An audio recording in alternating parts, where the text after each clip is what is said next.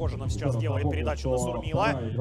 Кожанов, удар поворотом, Чушков. И дальше отскок от Брендо тоже в пользу Максима Чушкова.